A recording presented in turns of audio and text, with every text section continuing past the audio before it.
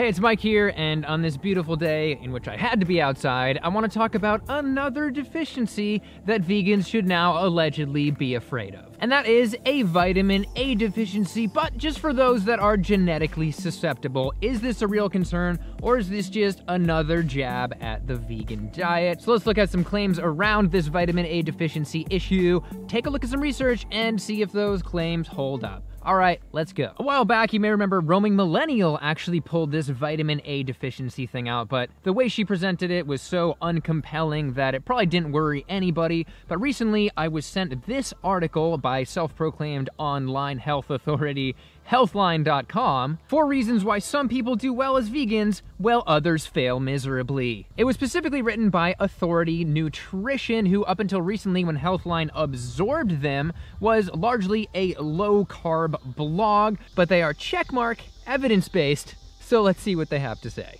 Vitamin A is their very first reason as to why some people are destined to fail on a vegan diet, which might mean it's most important, who knows. They say, quote, contrary to popular belief, plant foods don't contain true vitamin A, known as retinol. Instead, they contain vitamin A precursors, the most famous being beta carotene. True, we then convert that beta carotene into retinol, which is why the unit of measurement for vitamin A is retinol activity equivalents instead of just vitamin A. But animal products do contain retinoids such as retinol itself that don't require the same conversion process. But here's the bad news. Several gene mutations can thwart carotenoid conversion, rendering plant foods inadequate as vitamin A sources. If you're really unlucky and you end up with two of these mutations, you will convert carotenoids 69% less effectively, and I love this, quote, a less common mutation can reduce conversion by about 90% in people who carry two copies. Less common? So what, like 20% of people, 30% of these people? No, this is a super rare gene mutation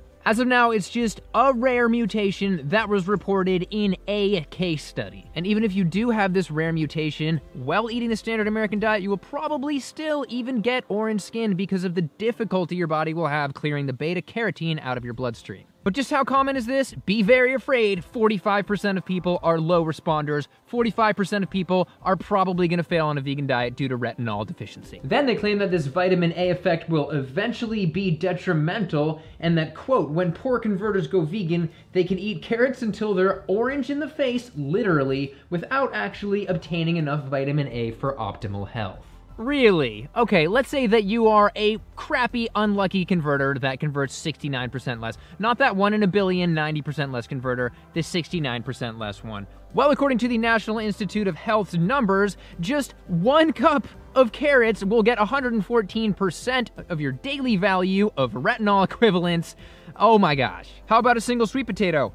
200% of your daily value. If you were one of those super duper crappy converters that only converted 10%, then a sweet potato would still give you 54% of your daily value. This person is just pulling stuff out of their bum. Now, this is the point where they really are just spreading lies. Quote Not surprisingly, the consequences of inadequate vitamin A mirror the problems reported by some vegans and vegetarians. Thyroid dysfunction, night blindness, and other vision issues, impaired immunity, more colds and infections, and problems with tooth enamel can all result from poor vitamin A status. These are all major problems commonly reported by vegans. No, this is just opinion backed by nothing, and then in the next sentence, sentence, they throw in four citations so you think it's connected. Nope, none of those four studies even contain the word vegan. So let's see if these are real problems for vegans. Hypothyroidism. From the best data we have in the Adventist studies, vegans had 11% lower rates of hypothyroidism than meat eaters. Vision issues? Well, from the EPIC Oxford study, vegans had 40% lower rates of cataracts, which was lower than any dietary group.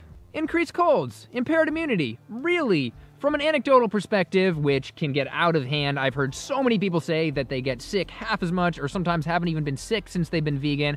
And I personally haven't missed any filming in my entire channel history or had a loss of voice or anything like that. But let's go to a study. This study put workers on a vegan diet. The result was, quote, the vegan group reported a 40 to 46% decrease in health related productivity impairments at work and in regular daily activities. That means less sick days from having a cold or less family frisbee outings missed from having the swine flu. Go home, vitamin A deficiency. Go home. Moving on, then how come there isn't a widespread vitamin A deficiency epidemic? They say simple. In the Western world, carotenoids provide less than 30% of people's vitamin A intake, whereas animal foods provide over 70%.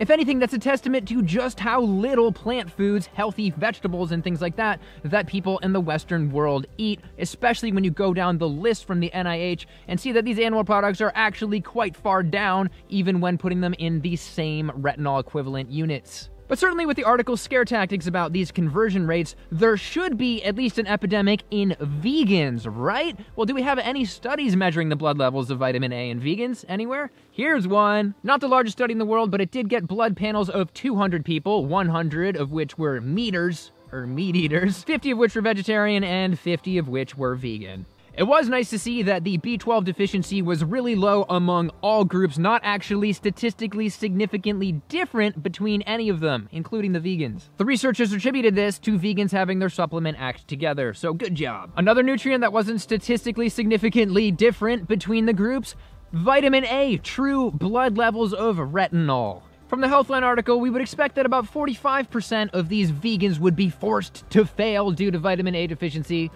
Clearly not the case. Something like folic acid, though, omnivores were a statistically significant 58% deficient. Ouch.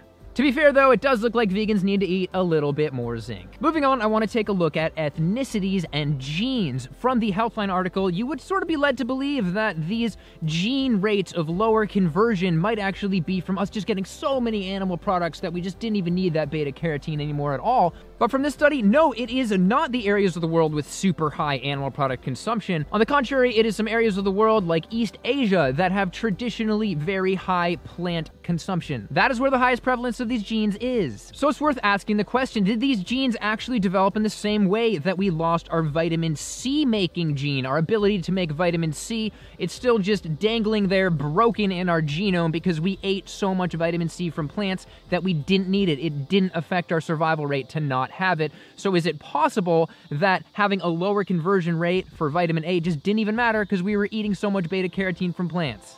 Who knows? Anyway, final point. I know some of you might be thinking, isn't vitamin A a fat soluble vitamin? Doesn't that mean we need to be pounding back the fat to get as much as we need? No, according to this study, you just need about one eighth of an avocado's worth of fat to get that vitamin A absorption. In the end, with all this information at hand, I would say that if deficiencies were straws, they would be grasping.